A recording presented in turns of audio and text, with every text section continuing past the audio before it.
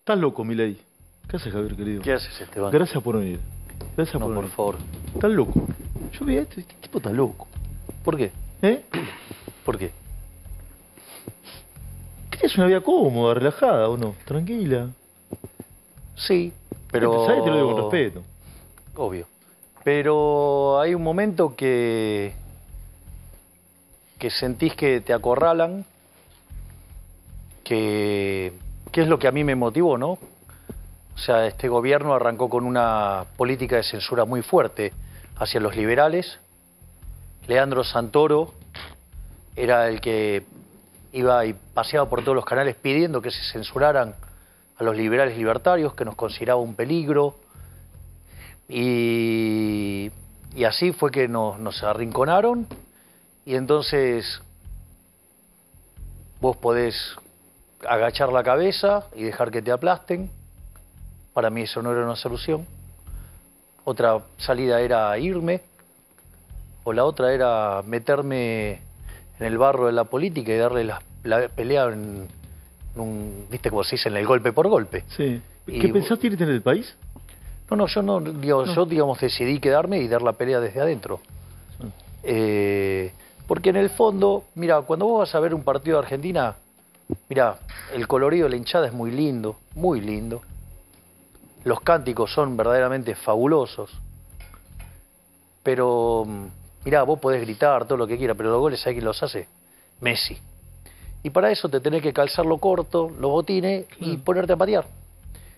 Eh, algunos lo pueden hacer con más talento, otros con menos, pero si no, la, la política no reacciona. Vos fijate que en los últimos dos años ha habido un, un corrimiento en el discurso que no se veía hace por lo menos 80 años. Entonces me parece que no es un tema menor el hecho de involucrarnos, meternos y dar la batalla desde adentro y, y hacer volar al statu quo desde adentro. Eh, vos sabés que de eso después se puede discutir un montón de cosas, de facto. Vamos a hacer un diálogo, si te parece, Javier. Sí, por supuesto. Eh, vos sabés, se puede discutir un montón de cosas, la viabilidad o no de la dolarización, si nos gusta, más, menos, lo que, lo que sea, se puede discutir. Lo que es objetivo muy tangible es que tu irrupción marcó una nueva agenda de discusión en Argentina. Y de esto no hay ningún tipo de duda. Te puede gustar más o menos, pero esto no hay ningún tipo de duda y te lo quiero decir. Te quiero decir otra cosa. Yo no sé cómo te va a ir el domingo, no tengo idea. Como te vaya, te voy a pedir una cosa que no cambies. Porque vos sos un tipo con voto propio, no sé cuánto. Son los pocos tipos que eh, viene acá, llega antes, saluda a todo el mundo, espera, no se queja y debe tener una agenda bastante apretada. Yo eso lo quiero valorar porque no pasa con todos. Con otros sí pasa, pero no pasa, pasa con la inmensa minoría. Y eso yo lo quiero valorar porque habla de tu, más de todo lo que se pueda decir, de que sos una persona muy respetuosa para con el otro. Y lo quiero decir al aire, porque a todos también les llama la atención. Hace como, yo hablé con tu hermana, mirá que arranco el programa con mi ley. Te está esperando en la esquina, me dijo, no podía creer. Nadie, ni mis hijas me esperan en la esquina. Estaba esperando en la esquina. Y la verdad es algo que quiero, que, que, que quiero, que quiero valorar. Y si te va bien, no cambies eso. Mira, vos sabés que una de las cosas que yo charlo regularmente con mi rabino tiene que ver con esto, con Axel, ¿no? O sea, la trampa, la trampa es vieja y se conoce desde hace tiempo, Sí. que es el ego, la codicia y la lujuria. Y, y bueno, o sea, a veces este tipo de cosas te generan trampas con el ego. Pero por eso me gustó mucho un posteo de, que hizo hoy mi hermana sobre Usain Bolt, donde Usain Bolt está mirando hacia arriba y marcando hacia arriba y diciendo, bueno, gracias. Eh, entonces nosotros, ya sea cuando nos va bien o cuando nos va mal, entendemos que esto es aprendizaje. Mm. De una u otra manera. ¿Estás es aprendiendo? ¿Estás Sí, aprendiendo? Sí, sí, y además eh, saber que subirte al pony es la garantía de que te la vas a pegar. Sí. Pero, ¿Estás aprendiendo a qué? ¿A ser político? ¿A la política? ¿Al barro de la política? ¿Qué estás aprendiendo? Estoy aprendiendo básicamente a tratar de guiar un conjunto de fuerzas hacia poner de pie de vuelta a la Argentina. Y eso es todo un proceso, o sea, no es lo mismo venir, sentarme, como cuando lo hacía originalmente, sin ningún tipo de responsabilidad, más que la que me comprometía con la calidad del análisis económico. Mm. Digo, hoy no solo, digamos, ejerzo mi profesión de economista, también tengo la responsabilidad de liderar a una fuerza como es la Libertad Avanza, que pensá que cuando nosotros arrancamos nos dijeron que no íbamos a poder formar partido, y lo formamos, nos dijeron que no íbamos a poder pasar el piso de las PASO, que no íbamos a poder ganarle el voto en blanco, que la izquierda nos iba a golear. Es más, el propio día de la elección nos decían que, bueno, en el primer corte estábamos en 9%, pero que después nos caíamos a pedazo y que no íbamos a ni poder juntar los votos ni como para eh, llegar a una diputación y que con suerte eh, íbamos a tener un solo legislador. Y sin embargo, fíjate lo que fueron los resultados. Es más, después dijeron, bueno, ¿qué podían hacer dos personas adentro de, de la Cámara, no? Victoria Villarroel y vos. Claro, entonces que eso nos iba a deglutir, que nos iba a diluir, que, que no íbamos a poder hacer nada. Y a mí, yo recuerdo que a mí me hicieron una, una, una nota ese día, y me dijeron, pero ustedes dos solos no van a poder hacer nada. Y yo le contesté con una frase del libro de Macabeos, A ver. que dice que la- el triunfo en la guerra no viene de la cantidad de soldados, sino de las fuerzas que vienen del cielo. Entonces, cuando vos estás convencido, cuando vos estás comprometido con los valores morales, como lo estamos nosotros, nosotros fuimos y dimos la pelea. Y fíjate que desde ese momento nosotros vinimos marcando la agenda todo el tiempo. De hecho, los videos más vistos en la Cámara de Diputados son los míos. ¿Se tienen que ir todos, Javier? Sí, ¿Se tienen que ir todos? sí, Todos. sí. Nosotros, de hecho, ¿Y todas? Fíjate esto. Digo, el español me permite decir todo Sí, si es correcto. mucho más económico, ¿no? Corté más eficiente. Es verdad, estoy de acuerdo. Es decir, eh, eso de poner palabras para llenar Sí. lugares, no. O sea, la eficiencia es no un fue valor. para llenar lugares, te lo pregunté ¿Qué? propósito por Cristina, te lo pregunté. No, bueno, un problema de ella. Sí. Digamos, si quiere deformar el español, es un problema de ella. A ver, vamos a ponerlo en estos términos. Vos en el 2001 tuviste un que se vayan todos. Sí. Y la verdad es que no solo que no se fue ninguno, porque se quedaron todos, sino que además se multiplicaron. Había que achicar el Estado y lo agrandaron. Había que dar más libertad y nos cercenaron la libertad. Hoy tenemos un Estado impagable, ineficiente, una, digo, no existe igual el Estado eficiente porque es un oxímoron. No Pero- existe el Estado eficiente. No, es un oxímoron. Pero ¿Y cómo y garantizar por- la, y- la seguridad? y- no, bueno, pero para, no, vamos por partes. Dale. Es decir, nadie que se hace cargo, si vos no te haces cargo de la cuenta, que es lo que hace el Estado, el Estado gasta el dinero de, de otros en otros. Entonces, no le importa si gasta mal, no le importa nada, porque no paga el costo. Es decir, vos cuando Friedman hablaba de cuatro formas de gastar, vos podés gastar la tuya o la de otros, la podés gastar en vos o en otros. La mejor forma, ¿cuál es? Gastar la tuya en vos mismo, porque vos sabés lo que te costó ganarla y qué querés hacer. Ahora, cuando vos gastás la tuya en otros, minimizás el costo. No sé, cuando haces un regalo, tratá de quedar bien con lo menos posible. Mm. O cuando vos gastás la de otros en vos mismo, ¿qué haces? Despilfarrás. Bueno, ¿cuál es la peor combinación? Gastar la de otros en otros. Entonces digo, ¿qué es lo que hace el Estado? Es decir, nadie paga los costes, es una, una forma absolutamente irresponsable de manejar algo que alguien gaste si no paga los costos por hacer eso. Bueno, eso es lo que hace el Estado, por eso el Estado siempre funciona mal y cuando el Estado crece adentro de la economía, la economía es menos eficiente y le va peor. O sea, es, un, digo, es de manual. Cuando vos decís que se vayan todos, y ahora vuelvo con el tema de- Sí, de- del, por- del Estado, este- sí. no, porque ese era, ese era el punto con el que estábamos. Sí. ¿Y quién se fue? No se Pero- fue pero ninguno. alguien tiene que quedar, Javier. No, no, sí, bueno, está bien, que vengan outsiders. ¿Querés que vengan outsiders? Exacto, claro. Porque ahí también esa, esa payasada, no, porque tenemos la experiencia. Discúlpame, hace 100 años que aplicamos este modelo. De ser el país más rico del mundo, hoy somos 140 el tipo de cambio paralelo. Mm. Tenemos 45% de pobres, 10% de indigentes. Me estás cargando. Digo, ¿de qué estamos hablando? Los últimos 40 años de la Argentina son de un fracaso rotundo. Mm, Es cierto eso.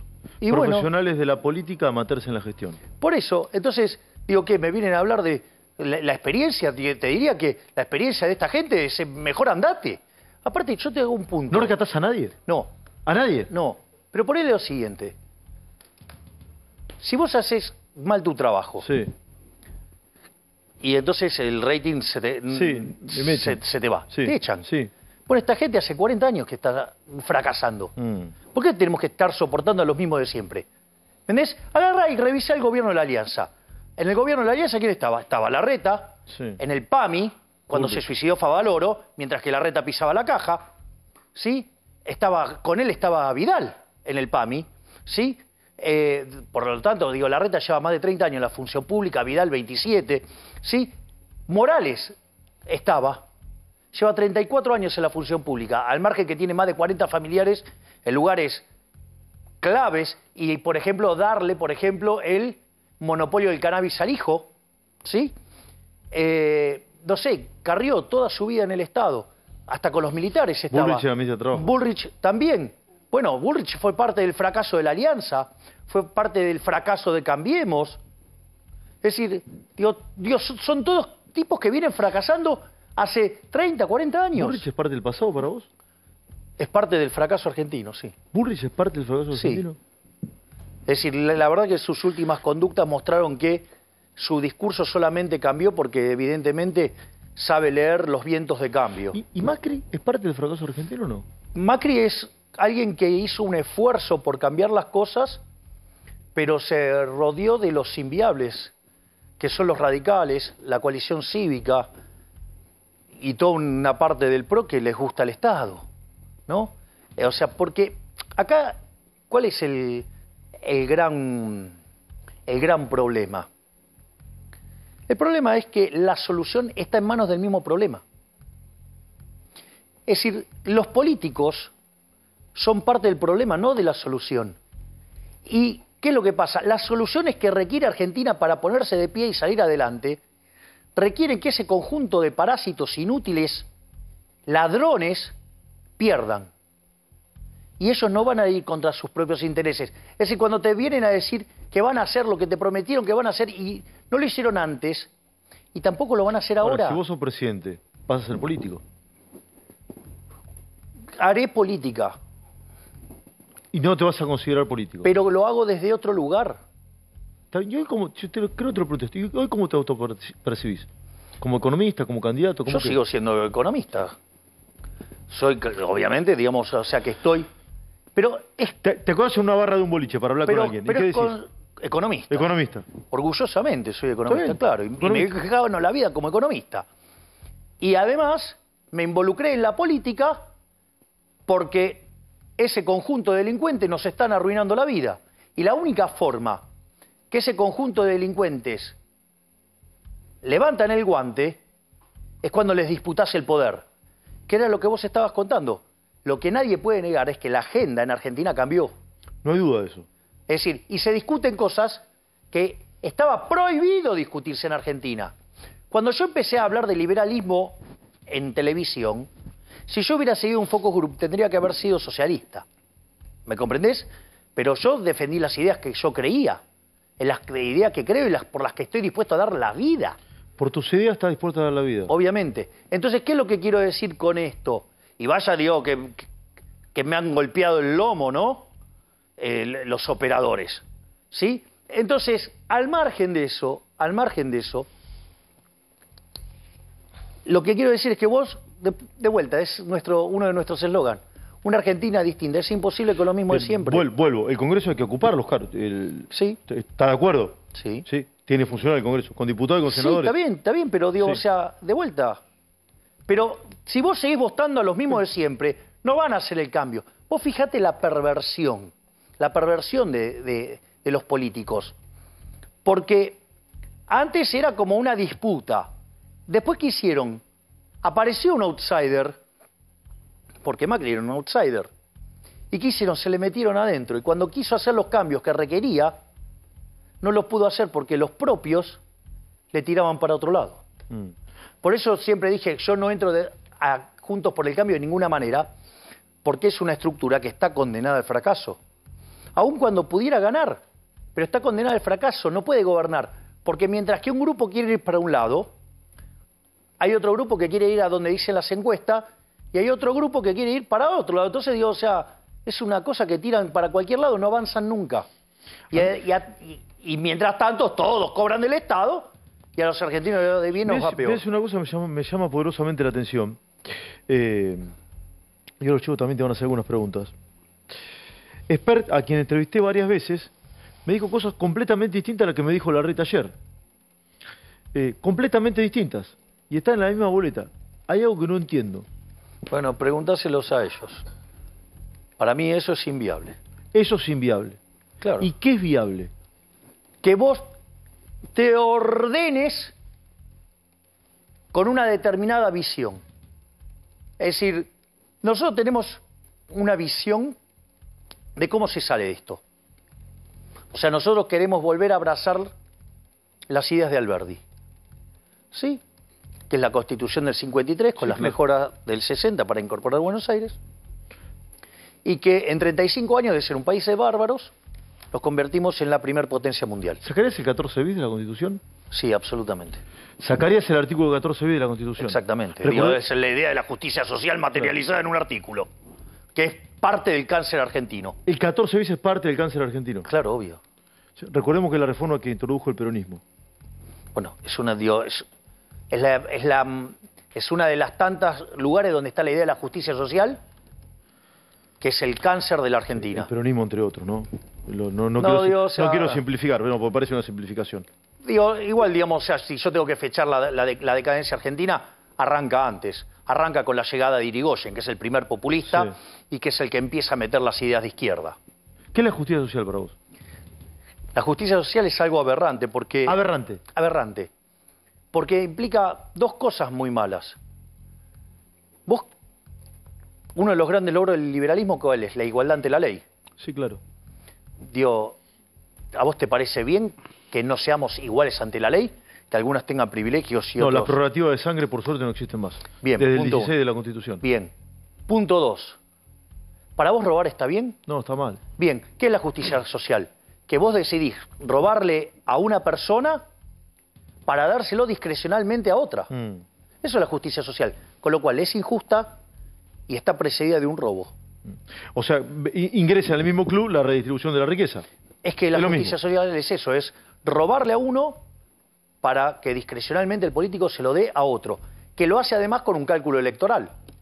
Porque cuando vos mirás la distribución del ingreso, esto es técnico, lleva el formato de una chi cuadrada, ¿sí? o una log normal, que también se llama distribución Pareto, donde el valor ¿sí? mediano está por debajo de la media. Quiere decir que entre el 75 y 80% de la población está por debajo del ingreso promedio. Entonces viene un populista y te dice, le vamos a sacar a los ricos para darle a los pobres. Entonces, eso electoralmente, ¿sí? que, que además Hayek eso lo llamó democracia ilimitada. Sí, ¿todos los gobiernos fueron populistas en Argentina o destacás alguno que no lo haya sido? Mira, Argentina se alejó de las ideas de la libertad, se empezó a alejar de las ideas de la libertad con la llegada del radicalismo y con Irigoyen. O sea, y hubo intentos para recomponer, pero la realidad es que Argentina cada vez abrazó mayor, mayores dosis de socialismo y por eso se destruyó como se destruyó. ¿Quién fue el mejor presidente de la historia? Menem. Me- ¿De toda la historia o de la democracia de toda la historia. Hay un trabajo que se llama Passing the Back de Gerardo de la Paulera, Boso- Bosoli e Irigoyen y hace el, el índice de presión macroeconómica de Barro y rankea a todos los gobiernos de la historia. El primer gobierno de Menem es el mejor gobierno de la ¿El historia. primero y el segundo? Queda tercero. Y como consecuencia de ello, los autores modifican el indicador para penalizarlo por el tema de las privatizaciones y demás, y, le van- y limpiarle los números fiscales de eso, y aún así el, el segundo, el primer gobierno sigue siendo el mejor, y el segundo cae al sexto lugar. ¿A quién admiras? ¿Cómo? ¿A quién admiras? ¿En qué términos? ¿En términos de economistas o en términos de...? Digo, porque lo, lo mío es la economía. Entonces, admiro, digo, admiro a Alberto Venegas Linchijo, admiro a Guillermo Calvo, admiro a Carlos Rodríguez, que además encima tengo el privilegio de ser amigo Sí. de ellos. O sea, digo, si vos querés como economistas. Y en la vida en general, yo, para facilitar, yo admiro a Subeldía, por ejemplo, que no tiene nada que ver con mi trabajo. Que no tiene nada que ver con... Bueno, digo, yo en... también, digamos, a- admiro mucho a Bilardo, ¿no? Mira, Que es el, que es el discípulo Sí, claro. de, de- de Osvaldo, sí, sí, sí, de claro. don Osvaldo Subeldía, Sí. de otro prócer, pero que no, no, no he tenido la posibilidad de, de verlo y tampoco estudié sobre él. Sí. Entonces, Murió pero, 81, pero sí, digamos, una profunda admiración por lo, por lo que ha logrado Bilardo, ¿no? Por lo que ha hecho. Es decir, digamos, casi uno de los responsables del fútbol ciencia. Maravilloso. O sea, sí, sí, digo, con lo cual de ahí soy bilardista, hasta la médula. ¿Y te pueden robar los votos el domingo o no? Sí. Sí, ¿Sí? pero sí. Pero... Dije maravilloso porque soy bilardista de toda la vida, lo he dicho, he escrito un libro. Bueno, etcétera. yo también, ¿no? Sí, O sea, sí, soy, hemos hablado en privado bastante con soy de- declarado Sí. fan de Bilardo. ¿Te pueden robar los votos? Eh, sí, lo pueden hacer. Nosotros vamos a ¿Cuántos? tratar de hacer de todo lo posible para que no lo hagan. Así es que mm, estamos tomando todas las medidas pertinentes para, para cuidar los votos. Pero vos te das cuenta, ¿no? Lo que estamos diciendo, que este Sí, es, un, go- sí, sí, este es un sistema de chorros, donde tenés que ir y cuidar los votos, porque si no te roban la elección. Entonces, por eso es que es tan importante esto del que se vayan todos. Esta gente fracasó, fracasó, fracasó. Es decir, si vos estuvi- si estuviera en el sector privado, ya le hubieran pegado varias patadas en el traste. Es decir, tendrían que ir a buscar trabajo como la gente honesta, Mm. cosa que no la hacen porque les encanta esto de la política. Y cuando vos los cuestionás, a mí me, me acusan de populista de derecha. Eso es una burrada. Porque si vos me decís que estás cuestionando el Estado, que estás cuestionando a los políticos, y son profundamente exitosos, y Argentina, de tomarlo de un lugar miserable, lo convirtieron, no sé, en Suiza, ok, te la compro. Pero digamos, o sea, a- aparte, vamos a esto. Argentina produce alimentos para 400 millones de seres Sí, humanos. sí. O La por lo menos materias primas, ¿no? La presión en el campo es 70%. O sea que el Estado se lleva el alimento de 280 millones de seres humanos. ¿Me quiere decir cómo puede ser que hay 5 millones de argentinos que no le alcanzan para comer? Entonces, digo, resultados. Ahí, ahí vamos a ser bien bilardistas. ¿No? Los resultados que dicen. Fracasaste, tómatela. Sí. ¿Qué segunda oportunidad, tercera oportunidad? Esta vez va en serio, me estás cargando. Sí, Javier, Sí, lo que sí. quiero decir, porque esto es importante. Hubo un que se vayan todos, no se fue ninguno, se quedaron todos, se multiplicaron. Entonces, ¿por qué es tan importante esta elección? Pues probablemente sea la elección más importante de los últimos 100 años. Lo dijiste ayer, te escuché, lo dijiste ayer. Tenemos la posibilidad, dentro del sistema, cosa que no pasó en el 2001-2002, de echar a todos estos parásitos. A diferencia de aquel momento que no había ningún vehículo que representaba el hartazgo con estos empobrecedores seriales, que han hecho que un país de ricos, un país de pobres donde solo progresaron los políticos, tenemos la posibilidad de echarlos, pero lo podemos echar si vamos a votar. ¿Sí? Es decir, dentro del sistema, en la lógica del sistema, solamente se cambia cómo? Votando. Los echás votando. Entonces, hay que ir, votar y echarlos, porque es la única forma que podemos Sí. hacer efectivo el que se vayan todos. ¿Por qué disfruto tanto? El otro día el Movistar Arena estallaba de gente Sí, ayer, gritando ahí que se vayan todos. Es decir, bueno, si, que- si vos querés que estos empobrecedores seriales que arruinaron el país, ya sean los socialistas de malos modales, o sea, el Unión por la, por, por la Patria, o, sí, digamos, junto por el cambio, los socialistas de buenos modales, bueno, vamos a echarlo, pero vamos a echarlo, digo, lo, tenemos que hacer con votos. Sí, te quiero compartir otra sensación que tengo, te la dije fuera del aire, y arriba de, de- de confundirme, pero como lo hago con honestidad intelectual no tengo ningún tipo de problema, si me confundo lo diré. Creo que muchos empresarios que se dicen el círculo rojo, el establishment, ¿sí? no sé si te van a votar. Probablemente sí te voten los sectores eh, mm, más populares de la, de la sociedad, como lo vi en la estación de retiro, en la plaza de San Justo y en Constitución, donde la inmensa mayoría de las personas se acercaba y decía, yo voto a mi ley. Y que los, muchos empresarios no te van a votar porque temen que se cambie la regla de juego. Bueno, ¿Puede ser esto o no? absolutamente. Absolutamente. A ver, los señores de la Cámara Argentina de la Corrupción, Construcción. corrupción, Ah, ok. porque tienen que explicar el tema de los cuadernos y todo eso. ¿Y qué pasa con la obra pública? Por ejemplo, el presidente de esa Cámara, cuando yo voy a un lugar, se encarga de operar a periodistas para que mientan sobre lo que pasó en la presentación, por ejemplo. Gerardo Weiss es el presidente, ¿no? Eh, Gust- Gustavo Weiss. Gustavo Weiss. Gustavo Weiss, Weiss. Weiss, Weiss, bien. ¿Sí? Digamos, o sea, donde, digamos, hasta los podés encontrar a- hablando con los periodistas, que después son los periodistas que escriben notas en contra. Y claro, digamos, a la Cámara Argentina de la Corrupción, un tipo como yo le molesta profundamente. Y claro, porque yo quiero eliminar la obra pública y llevarla a un sistema de iniciativa privada a la chilena. ¿Y a los banqueros también molestás? Depende, hay, hay banqueros que tienen digo, un perfil más liberal, les caigo simpático. A los que obviamente viven de la prebenda y de hacer negocio con el Estado, no. Mm. Entonces, ¿qué quiere decir esto?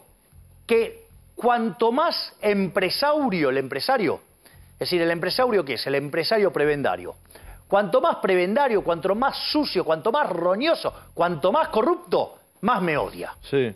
O sea, ahí es claro que no me va a apoyar y además pone recursos para destruirme. O sea, pone recursos para destruirme. Mm.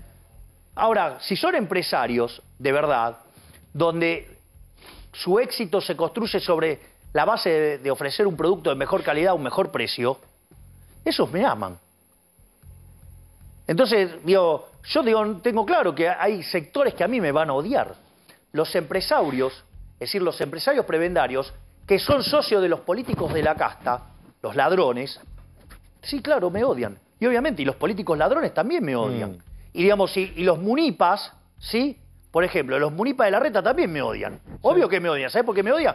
Porque son inútiles, que no pueden ganarse su vida en el sector privado como se la ganan ahí. Sí, ¿Y vos a quién odias más? ¿A muchos de estos políticos o a muchos periodistas? Ayer le dedicaste eh, parte de tu discurso a los periodistas.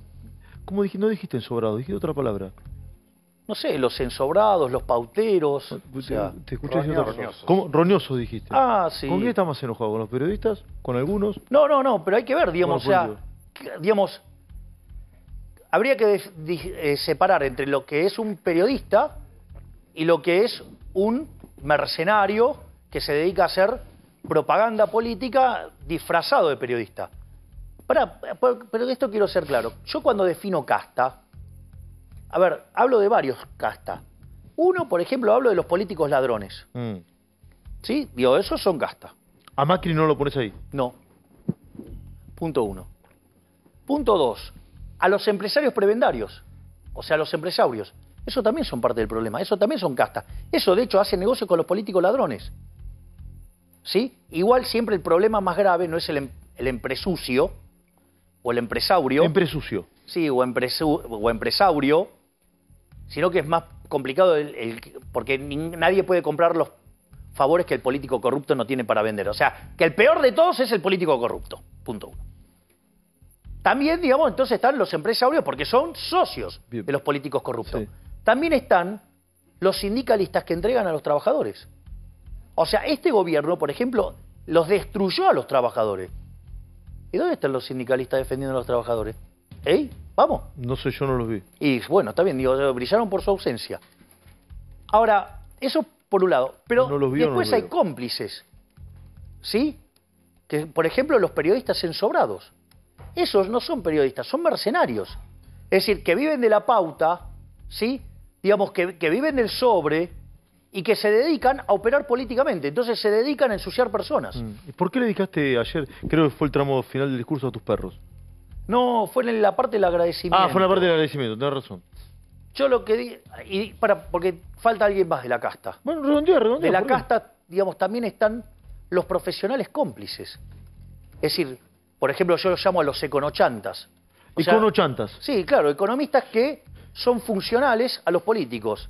Es decir, que venden una pátina científica para sostener el- el- este sistema inmundo. Los econochantas son uno, digo, los encuestadores también. Digamos, si hay, varias encuestadoras que, se, que son mercenarios, que utilizan su trabajo para ensuciar gente o para operar.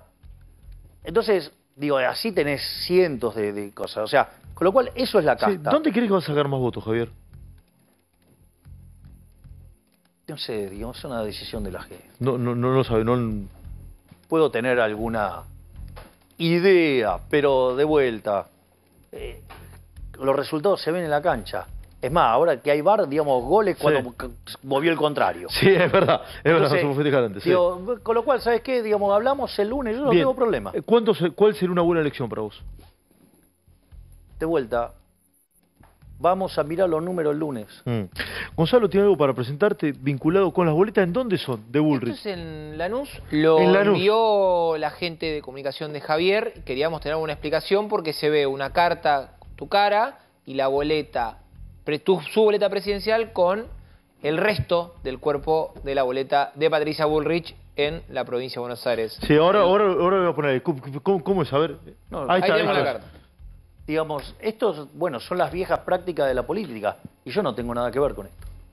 Que está la boleta de Bullrich con tu cara, con una carta tuya. Sí, digo, no sé, digamos, la verdad es que yo, eh, esto es parte de la vieja política, usar la figura de una persona para tratar de llevar votos para otra, ¿sí? Eso, digamos, eso pasa. Eh, yo digo, no es el primer caso que he señalado lo sucio que está jugando la señora Bullrich. Esto, esto de Bullrich... Para, yo, ya, ya pasó algo muy grave hace poco. Digo, el señor Federico Andajasi, sí. candidato al Parla Sur por, por la lista de Bullrich, en complicidad con una periodista... No la querés nombrar, ¿no?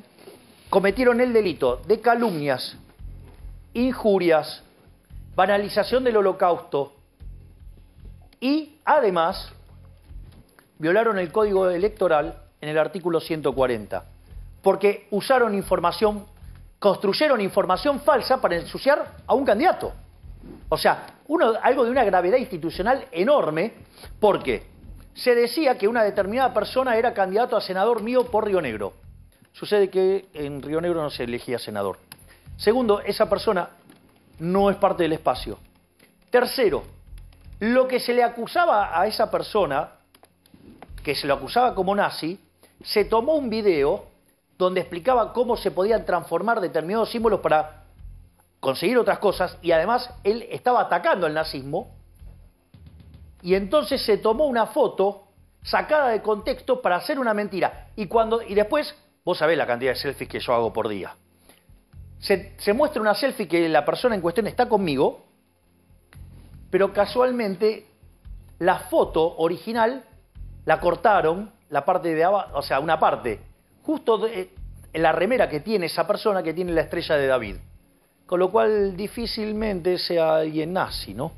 Entonces, entonces fíjate cómo desde una señal de televisión, desde un programa, se dedicaron a calumniar, injuriar, ¿sí? banalizar el holocausto, ¿sí? digamos, se mintió abiertamente, se violó la... ¿Y qué, qué respuesta hubo de la señora Bullrich? Ninguna. O sea, si, digamos, si ustedes van y, está la boleta con la cara de Andajasi, quiere decir que Bullrich valida toda esta peste. Y la señora Bullrich tiene una candidata concejal que la, que la mandaron a escracharme en Tigre. Y el que mintió sobre mi hermano. Y bueno, digamos, no sé, que se hagan cargo de eso de la gente que tiene en su espacio. Si, si uno de los míos hubiera hecho eso, yo lo echaba. Fíjate que uno de los míos, digamos, eh, en un espacio de Twitter a las 2 de la madrugada, dijo algo que estaba fuera del lugar Y, lo, y se lo echó. Entonces, ¿cómo? Entonces ellos validan todo este tipo de cosas. Validan. Es decir, es más, muchos de los que ensuciaron e hicieron parte del invento de las candidaturas son parte del espacio de la señora Bullrich. Y algunos de periodistas además declaran ser parte de eso. Con lo cual quiere decir que todo ese proceso de ensuciar es bastante complejo. Eh, tengo que ir cerrando, Javier, porque se va el tiempo eh, seguiría hablando de esto porque además me apasiona. Eh, vos sabés con una persona que vos no querés nombrar, yo trabajo, tengo, tengo, tengo, tengo respeto, pero si no la querés nombrar, no, no, no, no. Y la verdad que digamos la, concatenación de mentiras durante tanto tiempo, usando fuentes que sabés que son fuentes sucias y que después fueron a, los llamó la justicia y no pudieron validar nada y aún así lo seguís levantando y no pedís perdón, eso es parte del problema, no de la solución. ¿Por qué hay que votarte, Javier? Y con esto cierro. Porque somos la única expresión que quiere terminar con esta decadencia de 100 años. Somos la única expresión, ¿sí?, que nos metimos acá para que se vayan todos, los que no se quisieron ir en el 2001, que son los que generaron el desastre del 2001, y ahora quieren venir a cambiar algo. Si es mentira, si no lo cambiaron antes, no lo cambiaron. Llevan más de 20 años y no lo hicieron. Somos los únicos que estamos dispuestos a trabajar y pagar todos los costos para poner la Argentina de pie y sentar las bases de una Argentina liberal que de acá a 35 o 40 años sea una potencia mundial. Somos los únicos que estamos dispuestos a hacer esto, porque ¿Sabes qué? De vuelta, cuando vayan al cuarto oscuro, miren las caras y piensen si los mismos de siempre, los mismos que nos trajeron a este desastre, lo van a cambiar. No lo van a cambiar. Son parte del problema, no son parte de la solución. ¿Por, ¿Sabes por qué? Porque aplicar la solución va en contra de sus intereses personales. Porque son todos parásitos del Estado. Por lo tanto, los únicos que venimos a cambiar esto en serio somos nosotros, porque nosotros somos los enemigos del statu quo. Es decir, entonces nosotros somos los que venimos a poner de pie a la Argentina. Obvio, ¿me entendés? ¿Sabes que en esta batalla, contra tanto poder, contra tanto dinero que hay en el fondo, ¿sabes qué? Contra tanta casta, los cinco actores que mencioné, ¿sabes qué? Parece una locura. Pero yo te lo dije, ¿sabes cuál es la diferencia entre un genio y un loco? ¿Cuál es? El éxito. Y el éxito, para poder sacar a toda esta lacra, depende de que la gente nos acompañe en las urnas. Si la gente nos acompaña en las urnas, vamos a poder dar vuelta a la página, vamos, mira, no vamos a hacer un cambio de 180 grados, vamos a hacer uno de 540, porque vamos a sacar a pasear a toda la casta por 360 grados y además le metemos el cambio de 180 grados. Gracias Javier por haber venido, sí, gracias por elegir este programa también para, gracias. Eh, para hacer prácticamente este, este cierre. Gracias de verdad. Gracias. Sí, ya